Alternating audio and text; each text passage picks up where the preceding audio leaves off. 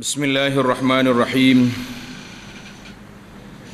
الحمد لله رب العالمين والصلاة والسلام على رسوله الأمين نبينا محمد وعلى آله وصحبه أجمعين اللهم علمنا ما ينفعنا وذكرنا ما نسينا وانفعنا بما علمتنا وزدنا علما ولا حول ولا قوة إلا بالله العلي العظيم وبعد Alhamdulillah kita teruskan pengajian kita dalam kitab Al-Fiqhul Manhaji jilid yang pertama dalam bab Salatul Khawf. Salatul Khawf. Iaitulah salat ketika takut. Kita beza kalau pakai khuf. Khafa, khuf. Ha ni ada waw, khawf. Jangan tukar baca dia Ma'naha wal aslu fi masyru'iyatiha Ta'rif ataupun definisi salatul khawf tu apa dia? Khawf dengan makna takut adalah berlawan dengan aman. Aman tak takut. Khawf makna takut. Maksud salatul khawf ialah salat yang didirikan dalam keadaan berlaku peperangan dengan musuh. Ha, kita tengah takut. Kita tengah takut, macam mana cara kita nak salat? Nak menangguhkan salat, gugur salat, lah tidak ada tempat gugur. Salat tetap kena, walaupun dalam keadaan takut. Apa cara? Dalam kitab kita ni bawa dua tiga cara salat. Ia istimewa daripada sembahyang-sembahyang lain disebabkan beberapa rukhsah, rukhsah, kelonggaran ataupun kemudahan yang dimilikinya terutama ketika berjamaah. Ha, ni kita nak salat khawf ni kita salat berjamaah. Nak salat seorang pun boleh tapi orang-orang soleh ni dia tak mau. Salat seorang tak mau dia. Nak berjamaah juga walaupun dalam keadaan ketakutan. Jadi malanglah kita ni ataupun kemalangan besar kita tak takut sihat walafiat kenderaan depan tangga penuh tiba-tiba tak sampai juga ke masjid salat berjamaah. Berat ke tidak kita? berat. Mana kalau penyakit di hospital tu huh, orang panggil penyakit kawalan tu. Orang yang sihat walafiat tak mau pergi masjid. Ini dia panggil penyakit berat. Dalil. Dalil disyariatkan solat ini mana dalil dia? Ayat Al-Quran dan hadis yang banyak sebagaimana yang akan disebut ketika menjelaskan keadaan dan cara menunaikannya. Jadi tuan syekh kita nak ringkaskan sikit kita. Dia tak, tak mau ulang dua kali ayat. Jadi ayatnya ada. Di antaranya tengok surah An-Nisa ayat 102 yang kita akan baca di bawah ni. Halatuha. Apa dia halatuha? Keadaan salatul khauf apa dia keadaan dia? Salatul khauf mempunyai dua keadaan berdasarkan kepada keadaan peperangan yang berlaku dua keadaan berdasarkan keadaan peperangan yang berlaku. Keadaan yang pertama al halatul ula halatul murabitah wal hirasah wa adamul tihamil qital. Keadaan yang pertama iaitulah keadaan berjaga-jaga dan peperangan belum terjadi. Ha, kita tengok keadaan ni peperangan dia tak jadi lagi. Belum tercetus dalam keadaan tersebut maknanya kita masih lagi suasana tu aman. Tapi takut tu ada. Dalam keadaan tersebut ia mempunyai bentuk solat yang tertentu. Dalam setengah perbuatan ia berbeza dengan solat yang didirikan dalam keadaan biasa. Kerana keinginan kuat orang-orang Islam yang sentiasa mahu melakukan solat secara berjamaah di belakang ketua mereka ketua umum, ketua utama khalifah, amir mereka atau naibnya yang menguruskan urusan peperangan. Ha, dia kita suka jemaah ni solat pun sekali dengan ketua. Pasal nampak kesatuan kita. Nampak kesatuan kita tu hebat. Yang kadang-kadang kita rasa penat juga zaman kita hari ni. Kita ni nak juga solatnya ketua betul tak? Dengan kepala-kepala daerah dengan orang panggil pembesar-pembesar. Tapi masalahnya tak ada dia di masjid nak solat sekali ni. Ha, itu hakin alik penat alik kita ha. tak sekali-sekala berasa juga nak solat bersama dengan pengurusi masjid. Imam-imam yang ada jujur sekali. Ah, seronok rasa. Ni tak sunyi ya tak jumpa apa. EJK masjid jadi tapi tak ada dia.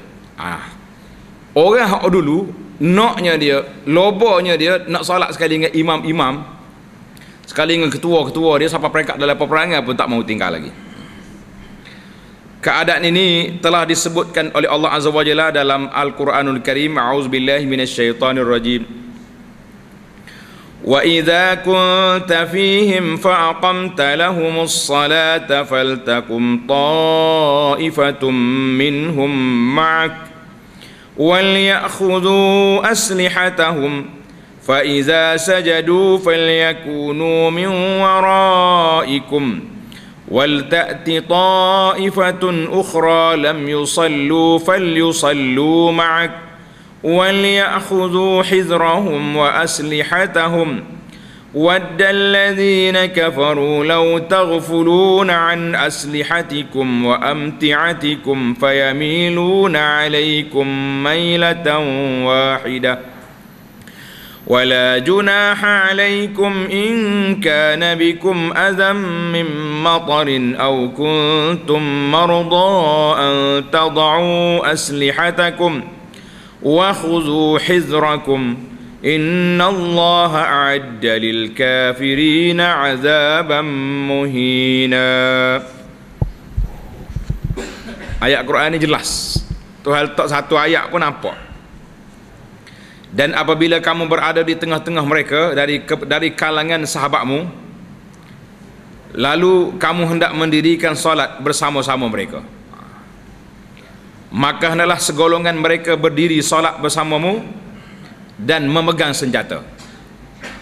Kemudian apabila mereka yang sembahyang bersamamu telah sujud telah menyempurnakan sembahyang bersamamu maka hendaklah beredar dan berjaga mengawasi kamu daripada serangan musuh. Maka hendaklah mereka pindah dari belakangmu untuk menghadapi musuh dan hendaklah datang golongan yang kedua yang belum bersolat bersamamu dan hendaklah mereka berjaga-jaga dan menyandang senjata mereka. Orang-orang kafir ingin supaya kamu lalai dari terhadap senjatamu dan harta bendamu lalu mereka menyerbu kamu meletakkan uh, dengan sekaligus. Dan tidak ada dosa atasmu. Ini orang-orang yang dikecualikan. Tidak ada dosa ke atasmu dengan sebab meletakkan senjata-senjatamu tak pergi berperang termasuk juga tak pergi. Kerana apa? Tak pergi solat berjamaah dengan sebab tidak berdosa mana kan dengan sebab meletak senjata jika kamu mendapati sesuatu kesusahan kerana hujan. Ha, dalam bab hujan ni kita dah bincang dalam salat baru ni hujan yang lebat yang berbahaya. Bukan hujan macam kita ini hujan suka baru kan? Hujan ni berbahaya. Manakala kita keluar tu boleh jadi uh, hanyut air ke apa itu dia panggil dan kerana kamu memang sakit. Ha, ini orang uzur tak pergi perang tak apa tak pergi solat berjamaah pun tidak apa. Dan bersiap sedialah kamu. Ha, tapi kalau tak letak senjata pun khuzu hizrakum. Bersiap sedialah kamu sentiasa berjaga-jaga kamu. Sesungguhnya Allah telah menyediakan azab yang menghinakan bagi orang-orang yang kafir.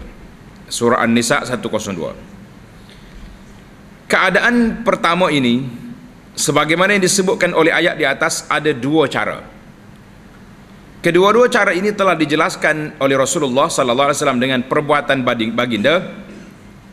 Kedua-dua cara ini berbeza dengan sebab perbezaan kedudukan musuh iaitulah sama ada mereka berada pada arah kiblat ataupun tidak.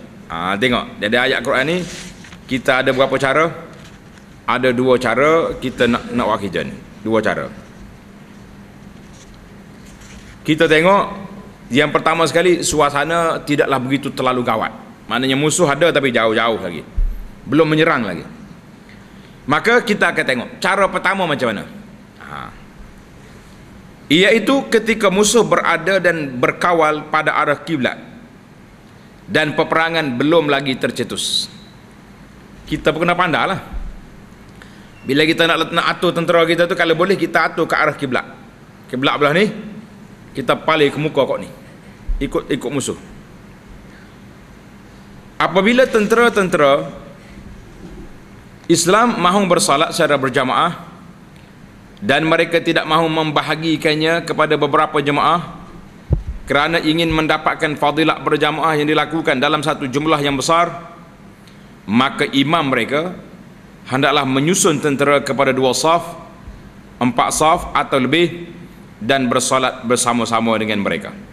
Ha, jadi kita lihat kita tahulah yang pertama ni macam mana? Musuh duduk sebelah kiblat. Duduk arah kiblat. Jadi kita buat atas saf saf salat ni kita buat dua saf empat saf enam ikut bilangan bilangan tentera ada maka macam mana? Apabila imam sujud waktu berdiri sekaligus. Allahu Akbar apabila imam sujud saf yang berada di belakang imam yakni saf pertama jika hanya terdapat dua saf ataupun dua saf yang pertama jika terdapat empat saf begitulah seterusnya. Hendaklah turut sujud bersama dengan imam. Manakala yang baki hendaklah menjaga saudara-saudara mereka yang sedang sujud daripada gerakan musuh. Jelas kita. Jadi kita bagi berapa sah ni 4 sah bila imam sujud dua sah yang pertama tu sujud sekali dengan imam. Allahu Akbar. Eh waktu sujud ni senjata duduk bawah. Kalau orang lompat mari macam agak lah. Dia tak boleh lompat. Sebab apa? Sebab dua sah lagi berdiri. Pegang senjata. Hak dua sujud. Sekali dengan imam. Hak dua ni pegang senjata. Tengok. Ah, mari boleh faedah. Ha, tunggu apabila imam dan sah yang sujud bersamanya bangun maka sah yang berdiri tadi adalah sujud sehingga mereka bersama dengan imam ketika berdiri pada rekaat yang kedua apa imam dengan dua sah yang pertama tadi sesah sujud dia bangun diri kiam balik ha, barulah dua sah yang kemudian ni sujud Setuju? Tak ada masalah dua ni, hak dua depan pula jaga nyata ni. Yang dua sah belakang ni sujud. Ha. Kemudian kita sujud tu kita bangun. Bangun macam kita kejarlah. Bangun balik duduk sekali dengan imam. Imam duduk sah uh, rakaat yang kedua, dia tunggu situ, dia baca lama sikit, tunggu masuk sekali. Lagu pula? Apabila imam sujud pada rakaat yang kedua, Rekaat yang kedua imam sujud. Maka sah yang tidak sujud bersama imam pada rekaat pertama akan sujud bersamanya dan sah yang sujud bersama imam pada rekaat yang pertama menunggu sehingga mereka bangun daripada sujud. Ha, dia, dia dipanggil gile. Sah satu dengan dua rekaat yang pertama tadi dia dia sujud sekali dengan imam. Nampak? Sekarang ni kamu dah mau berdiri pula sah tiga dengan empat sujud sekali dengan imam ha, ada ke tu boleh satu sekali sujud dengan tu imam sekali seorang kan kemudian mereka hendaklah sujud ha, bila dia orang bangun ni duduk duduk dah duduk dah kan dia dua rakaat biasa dia orang musafir duduk barulah uh, sah yang satu dua tadi sujud Kemudian mereka adalah sujud sehingga mereka bersama imam ketika duduk tasyahud.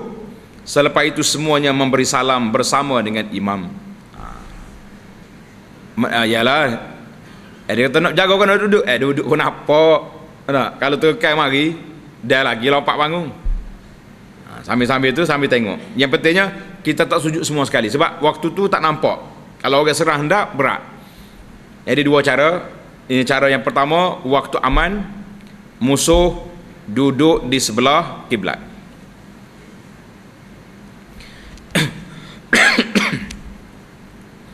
Inilah cara solat yang dilakukan oleh Rasulullah sallallahu alaihi wasallam dalam salah satu peperangan yang ditempuhinya iaitulah peperangan di Asfan.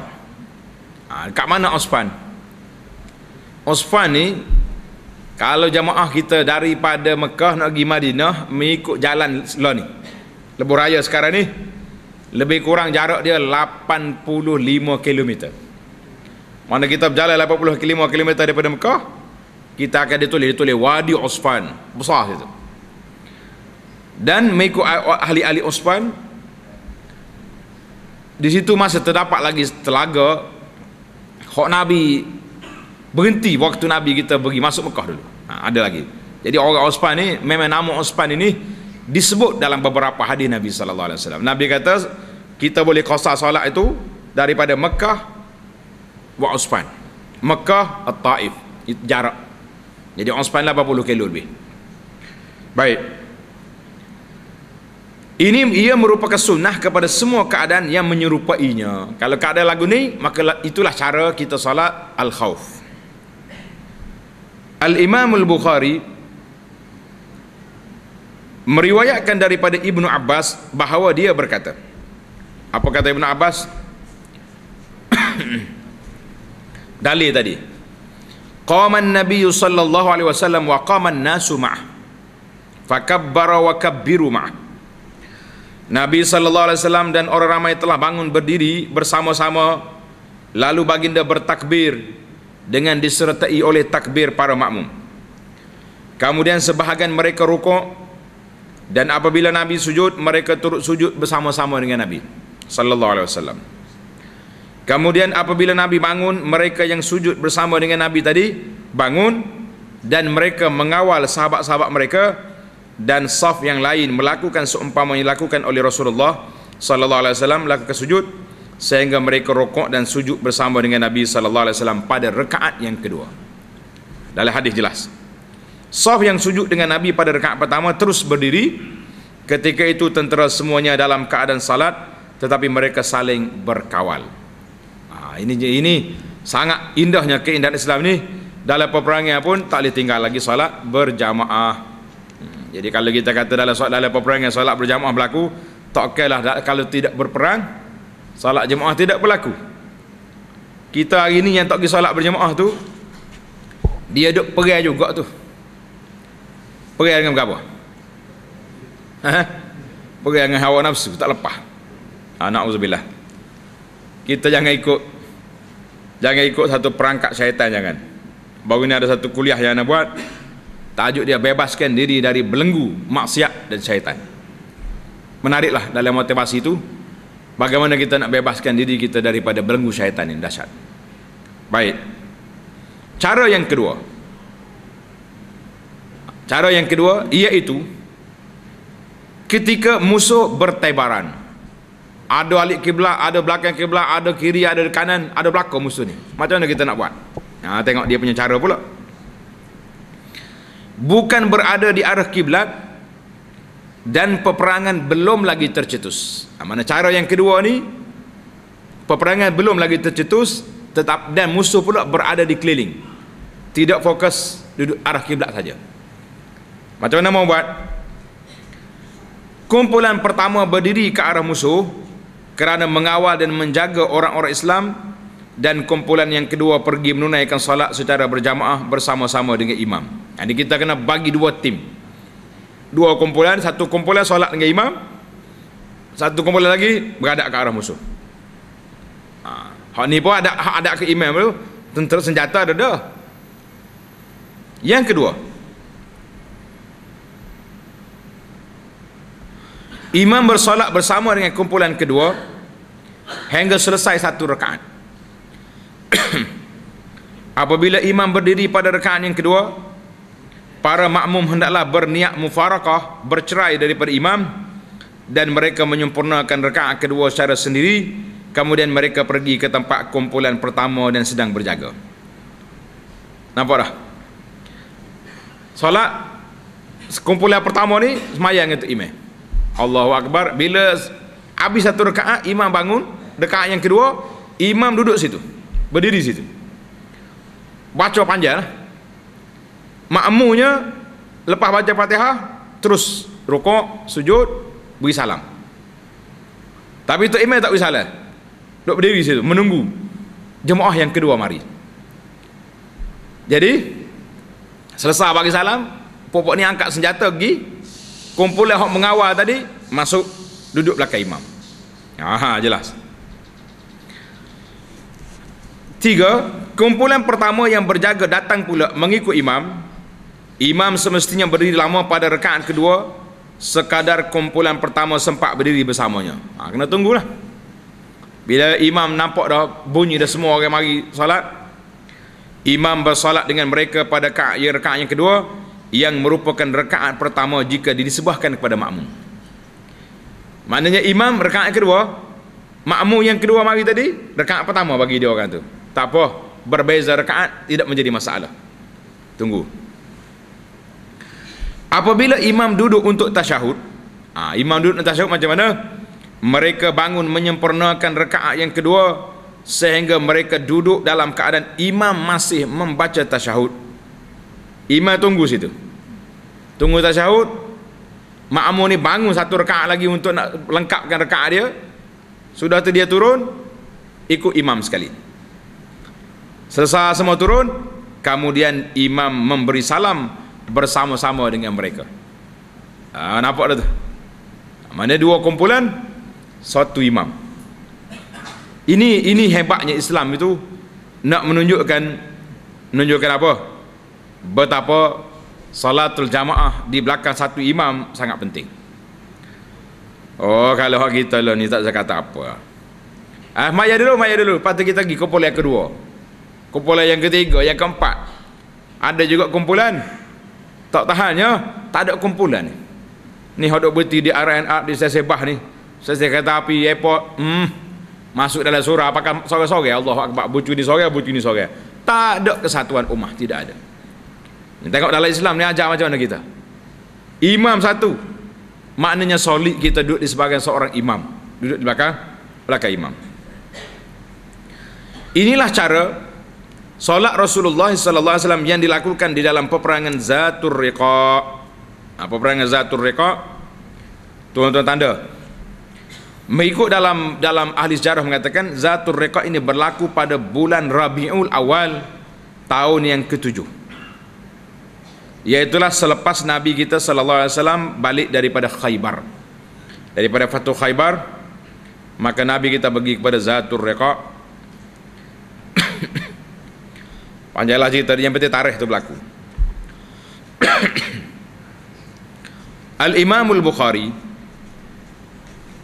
dan juga Muslim serta lainnya meriwayatkan daripada Saleh bin Khawat Saleh bin Khawat saya tak tahulah kalau penterjemah ni bila soleh dia tulis S-A-L-L-E-S saleh jadi. Saleh sama juga dengan Hasan. Kalau orang nama Hasanun apa dia tulis S dua kali jadi Hasan kalau Hasan tu kena tulis Hasin Alik Num. Ha, dia penterjemah ni dia kira ikut, ikut suka dia ya tulis. Tulis kau kan. Saleh bin Khawat daripada sahabat yang lain menyaksikan bahawa Rasulullah sallallahu alaihi wasallam melakukan salatul khauf pada hari peperangan Zatul Riqa kata dia. Ha, ni kata dia soleh ni. Macam mana? Satu kumpulan anna ta'ifatan safat ma'ah. Satu kumpulan telah berdiri salat bersama dengan Nabi sallallahu alaihi wasallam dan satu kumpulan lagi menghadap ke arah musuh. Ha, bagi dua Lalu baginda sallallahu alaihi wasallam solat satu rakaat bersama dengan kumpulan yang berdiri bersama dengannya. Kemudian baginda Nabi sallallahu alaihi wasallam terus berdiri dalam keadaan dalam keadaan kumpulan tersebut meneruskan solat secara sendiri-sendiri. Kemudian mereka beredar dan membuat saf menghadap musuh. Agi. Ha, gi jaga musuh pula. Dan kumpulan yang satu lagi yang berjaga tadi di awal-awal tadi datang. Lalu Nabi sallallahu alaihi wasallam bersama mereka menyempurnakan rakaat yang masih berbaki iaitu rakaat yang kedua. Kemudian baginda sallallahu alaihi wasallam terus berada dalam keadaan duduk. Nabi duduk dalam tasyahud tunggu di situ. Ketika itu para makmum menyempurnakan rakaat kedua mereka secara sendiri-sendiri. Kemudian baginda memberi salam bersama-sama dengan mereka. Jadi ini cara yang kedua di sini anda melihat bahawa solat yang didirikan dengan cara dengan dua cara tersebut sedangkan ketika itu orang-orang Islam berhadapan dengan musuh merupakan suatu gambaran bagaimana salat secara berjamaah terus dipelihara dan dilaksanakan. Dan di waktu yang sama tentera-tentera Islam dikawal keselamatan mereka mereka sentiasa dalam keadaan berhati-hati terhadap musuh serta kadar akan tipu daya mereka. Keistimewaan yang terbesar ini ialah dapat mengikut amalan Rasulullah sallallahu alaihi wasallam dan memperolehi ganjaran pahala kerana menunaikan salat dalam satu jemaah bersama dengan khalifah iaitulah imam besar atau ketua dalam medan peperangan menunjukkan satu kehebatan dan kesatuan kita di dalam berjamaah. Ha, janganlah, jangan buat jemaah lain. Kita satukan jemaah kita ni insya-Allah taala. Itu keadaan yang pertama. Apa dia keadaan pertama? Peperangan belum terjadi. Kita hanya berjaga-jaga menunggu suasana. Sekarang ni kita berpindah kepada al-halatus tsaniyah.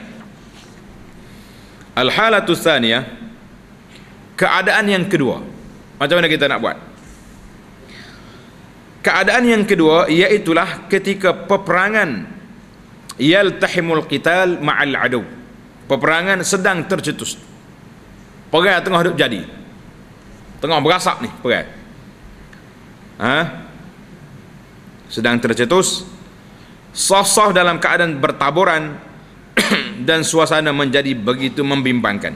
Ha, jadi kalau perang ada tengah hidup berlawan kalau berlawan awal tak apa. Kita jamak zuhur dengan asar. Tapi kalau asar pun nak habis dah macam nak buat? Apabila berlaku keadaan tersebut maka tidak ada cara tertentu untuk ditunaikan salat ha, nah kita dah sebut tadi tu itu keadaan pertama. Bahkan setiap orang menunaikan salat mengikut keadaan yang mengizinkan mereka mendirikannya sama ada dalam keadaan berdiri menunggang duduk atas kuda atas kenderaan atas kereta kebal atas jet berjalan kaki atau berhenti sama ada mengadap kiblat ataupun tidak. Ah tak kira dah. Tak kira sekali ni. Maknanya orang tengah duk pergi kokek-kokek tengok eh waktu nak habis dah. Pandai duk tangan. Allahu Akbar maya tak kira lawan terus. Rokok dan sujud dilakukan dengan isyarat. Ah, isyarat je rokok isyarat je sujud atau dengan menggerakkan kepalanya mengisyaratkan kepada rukuk dan sujud dengan menjadikan isyarat sujud lebih rendah daripada isyarat rukuk sekiranya sebahagian mereka dapat mengikut sebahagian yang lain dengan dilakukan secara berjamaah maka itu adalah lebih afdal. Ha, mana kita ni lima orang ada. Melawan yang sempat lagi kita berjamaah. Dalam tak ada tu. Maya jemaah lagi. Ah tu dia sekalipun mereka mengadap arah yang berlainan atau makmum berhadapan ke kehadapan daripada imam tak apalah Mula-mula masa kita takbir tu makmum duduk depan, kita suruh jadi imam. Lepas tu dia dia tak bergerak, makmum di depan, tak batal solat. Ini dalam peperangan khas. Jangan duk kira hak kita duduk solat rumah masing-masing ni, dia di masjid waktu aman. Tak. Firman Allah Taala حافظوا على الصلوات والصلاة الوسطى وقوموا لله قانتين. فإن خفتم فرجالا أو ركبانا فإذا أمنتم فاذكروا الله كما علمكم ما لم تكونوا تعلمون. Allah peringatkan kepada kita Peliharalah segala salat kamu Semaya ini kena jaga Dan peliharalah salat wusta Salat wusta ni itulah salat asar Salat asar ni rupanya diberi perhatian khusus. Sebab ramai orang tak semaya sini. Besar keadaan dia.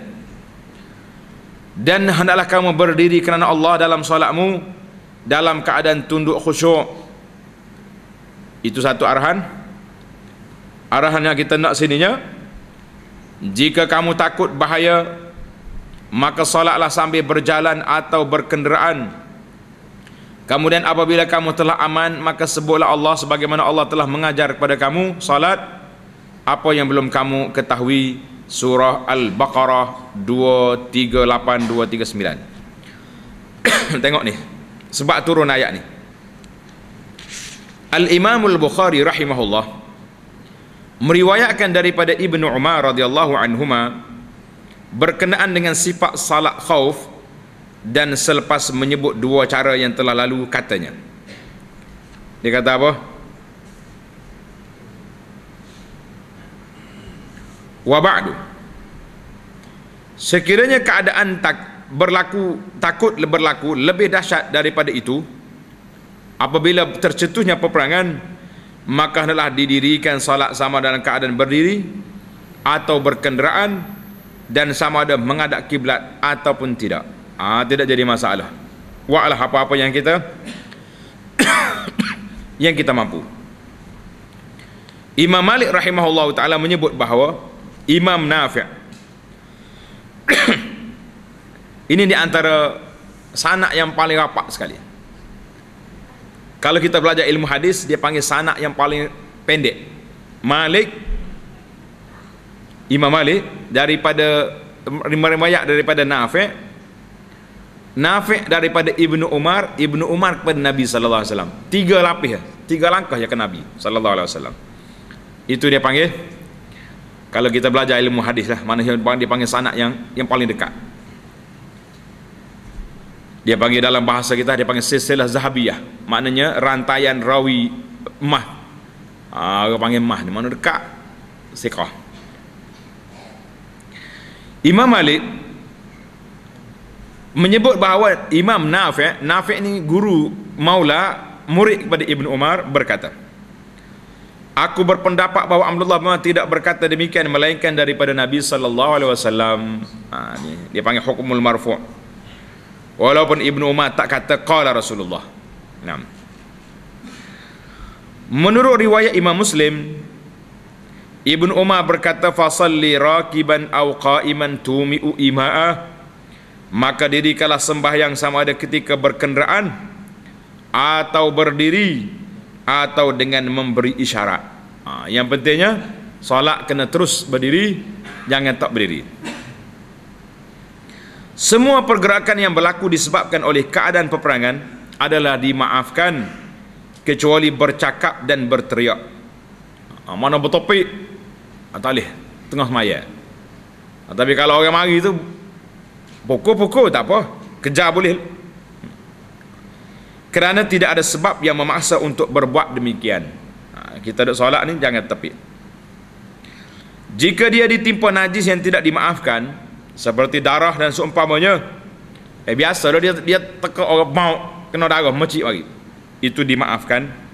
Sembahyangnya tetap sah, tetapi wajib diqada selepas itu. Ha, menurut mazhab Syafi'i ini kena qada balik sebab dia kata darah tu najis tapi solat tadi tidak batal cuma kena qada tu lebih baik ada setengah kata tak qada pun tidak jadi masalah dah sebab kita buat dalam keadaan terdesak dalam keadaan la yukallifullahu nafsan illa wus'aha. Habislah kita. Uh, dua cara yang kita ada. Ada lagi lah. Dalam setengah riwayat hadis dia kata ada enam hadis. Enam cara salatul khauf yang disebut dalam hadis. Tuan Syekh kita ni ambil tiga yang masyhur yang besar. Nampak dah tu kita? Ketahuilah wa'lam ketahuilah bahawa salat khauf diberi rukhsah kelonggaran untuk dilakukan. Ketika berlaku setiap peperangan yang disyariatkan oleh Allah Azza wa Jalla. Eh? dan juga ah, tanda tuan-tuan ini mustahak ni. Tulis kat tepi tu. Kelonggaran ini ketika takut dan juga pada setiap keadaan yang sangat menakutkan. Yang berlaku kepada mukallaf seperti dalam keadaan melarikan diri daripada musuh. Ha, ataupun hayawan buas dan seumpamanya. Kita nak semaya harimau mari. Ha lagu nak buat. Masa nak habis dah ni kan? Jadi boleh kita sambil lari tu Allahu Akbar Bismillahirrahmanirrahim. Ha, lari. berambak dengan dengan dengan dengan harimau. Boleh lari atau haiwan yang buas dan seumpamanya jadi kita boleh lari dalam keadaan takut. Kita tengah semaya mari tsunami. Orang kata lari tsunami ni lari. Baca subhanallah subhanallah Allah akbar. Baru berambak ni. Kalau tak lari tergelar. Ini dalam keadaan-keadaan ketakutan yang sangat maka dia diberi kelonggaran. Diberi kelonggaran. Yang tak longgarnya apa yang tak longgarnya tak solat. Atau tak ada longgar. Waktu dia cabut skru sendiri. Nah orang panggil loose skru.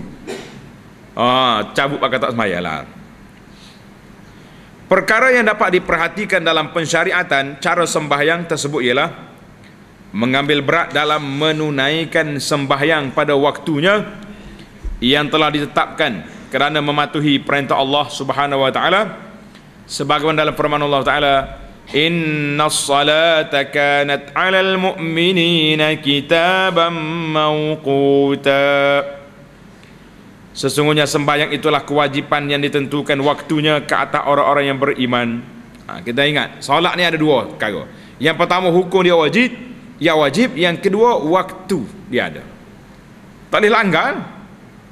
Ha, yang paling paling paling ringkas kita dibenarkan jamak waktu itu jelah. Orang lain itu tak bunyi belaka.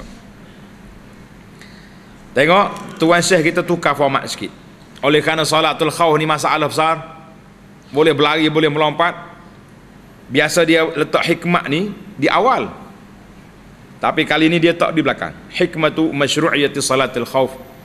Hikmat solat khauf disyariatkan. Kenapa? Hikmah cara-cara solat khaw ini disyariatkan ialah untuk memudahkan para mukallaf untuk menunai kewajipan salat yang merupakan perkara yang paling diperlukan olehnya ketika itu untuk menghubungkan dirinya dengan Allah Azza wa Jalla. Eh kita dalam keadaan takut itulah kita berajak kepada pertolongan Allah. Betul ke tidak? Tiba-tiba masa tu kita tak salat ajaib wallah. Pasal itulah para jemaah sekalian Tolonglah bagi nasihat kepada orang-orang yang sakit Sama ada duduk di hospital atau di rumah dia Supaya jangan putuskan hubungan dia dengan Allah Azza wa Jalla. Oh dengan makhluk ni rapat molek Habis keluarganya SMS lagi. Suruh anak telefon, whatsapp Bagi tahu belakang kau kapur tak duduk di hospital. Jujuk mari. Ha. Tapi malangnya Hubungan dia dengan Allah terputus. Tak semaya mana tak putus bagaimana Allah Ta'ala nak bagi rahmat dalam keadaan dia begitu keadaan patutnya kita tengah sakit ni lah solat lagi kuat. Orang mari zairah kita di hospital apa duk ngak-ngak geruk tak kata duk apa tu? Semaya. Waya penuh semaya dengan isyarat pun tak apa. Sekadar yang mampu kan? Hmm. sekarang ni pula orang duk sebar dalam video. Ada orang koma tak sedar duk baca Quran. Subhanallah. Dia baca Quran. Pergi gerak. Baca Syekh. Tak jawab. Mulut bergerak. Kata orang Ibrahim Mikaelah. Hati itu sudah jinak dengan Quran. Mulut sentiasa basah dengan Quran. Otak mata tidur. Mulut duk baca Quran. Subhanallah. Ajaib ke tidak? Ajaib lah. Yang kita bimbang hari ini para jemaah sekalian. Mata jelek mulut makan mayat tak zikir pun tidak. Waya penuh tubuh. Kita dengan kematian sangat hampir. Tapi kita putuskan hubungan dengan Allah Azza wa Jalla. Allahu Akbar. Allahumma khtim lana bi husnul khatimah. Kita minta Allah Ta'ala akhir hidup kita dengan husnul khatimah. Tengok dengar ni. Ketika itu untuk menghubungkan diri dengan Allah Azza wa Jalla supaya pertolongan dan kemenangan dikurniakan oleh Allah dalam keadaan berhadapan dengan orang-orang kafir di medan peperangan. Hati juga akan berada dalam keadaan tenang apabila sentiasa mengingati Allah dan menambahkan lagi keyakinannya terhadap kemenangan serta bantuan Allah. Ia juga akan menetapkan kaki-kakinya di medan peperangan, tidak berpaling tadah dan meninggalkan perjuangan sehingga kebatilan diruntuhkan dan dicatatkan kemenangan serta kejayaan kepada golongan yang benar. Benarlah firman Allah Taala, "Ya ayyuhalladzina amanu idza laqitum fi'atan fasbutu wadhkurullaha katsiran la'allakum tuflihun." Wahai orang-orang yang beriman, apabila kamu memerangi pasukan musuh, maka berteguh hatilah dan sebutlah nama Allah. Sebanyak-banyaknya agar kamu beruntung. Jangan malah kita ni. Surah Al-Anfal ayat 45 di antara perkara yang perlu disebut ialah salat khauf yang dilakukan dengan cara-cara yang telah disebut di atas. Memungkinkan para tentera Islam mendirikan salat dalam keadaan tidak menyusahkan. Sekalipun bentuk dan cara peperangan yang berlaku adalah berbeza disebabkan perbezaan masa dan tempat. Terutamanya apabila sifat peperangan itu sendiri tidak menuntut tentera berhadapan secara terus antara satu sama lain sebagaimana yang banyak berlaku dalam peperangan-peperangan moden hari ini. Ha, moden hari ini tak dah. Mana ada orang beradak gini? Masing-masing dengan bom, dengan apa ni kereta kebal. Jadi kita boleh solat. Di dalam kemah kita tu solat sini. Patu akak senjata pergi depan. Allah. As-salatu la tasqut bi ayyi hal. Tanda tuan-tuan. Ayat ni sangat menarik untuk diperhatikan. Solat tidak gugur dengan sebab apa jua keadaan. Ha, tak ada tak ada siapa boleh gugurkan solat. Sebagaimana yang telah jelas dalam perbahasan lalu bahawa tuntutan solat tidak gugur dengan apa jua sebab dan keadaan yang berlaku sekalipun keuzuran yang berlaku berada di tahap yang sangat dahsyat. Ha, tak ada gugur tak boleh bergerak dah kita ni. Tapi otak masih lagi berfungsi masih ingat. Maka selagi taklif masih berlaku dan kehidupan masih ada walau bagaimanapun Allah Ta'ala telah memberikan keringanan rukhsah untuk melewatkan salat dengan cara jamak antara dua salat atau memendekkan seperti sembahyang orang-orang musafir dengan cara qasar atau dengan meringankan cara melakukannya seperti salatul khawf dan solat orang sakit. Orang sakit ni dia boleh solat sambil duduk boleh solat sambil tidur. Nak bergerak atau boleh solat dengan isyarat kelompok mata je. Tapi tak solat tak ada mazhab. Ah, mazhab ke apa tak solat? Mazhab ke apa mazhab malah. Hak ni, ni tidak diiktiraf oleh Islam. Sakit je tak semayang lalu. Lah kita katakan ini satu perbuatan yang tidak diiktiraf oleh Allah Azza wa Jalla. Kesemuanya ini adalah berdasarkan kepada keadaan dan sebab-sebab yang berlaku. Tamaklah perbincangan kita dalam salatul khawf. insyaAllah kita akan sambung lagi dalam salat Jumaat. Salat Jumaat dalam siri yang akan datang insyaAllah Subhanakallahumma wa bihamdika asyhadu an la ilaha illa anta astaghfiruka wa atubu ilaik. Wa sallallahu ala nabiyyina Muhammad wa ala alihi washabihi ajma'in. Walhamdulillahirabbil alamin.